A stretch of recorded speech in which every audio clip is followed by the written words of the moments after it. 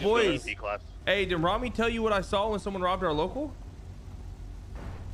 Bro, someone someone tried to rob our local, right? And the only person I saw in the area was 4Head from GG. Oh shit. Hurry him then. I called that out because a bunch of people went down. Hello, Bobby Brown went hello. down. Randall. How you doing? Okay, so US plus. Yo, Yes. Sunday. What's going on, Uncle Hutch? Oh, All right. Hurry him. I called that out because a bunch of people went down. Bro, oh my god, I can't fucking think. Randall. I turn the radio off. Bro, I've been getting calls nonstop. The fucking radio's constant. Yeah, I feel that. Holy shit.